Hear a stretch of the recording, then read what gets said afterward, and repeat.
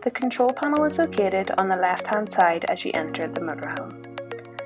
When connected to the mains electric, the campervan symbol on the left in the middle will be eliminated. Using the control panel, you can operate lights, water, monitor the leisure battery, vehicle battery, and the fresh and waste water levels. Tap the main power button in the bottom left corner to activate the control panel and energy supply. To get running water, touch the tap symbol in the top left corner. The tap symbol will illuminate meaning your water pump is now on.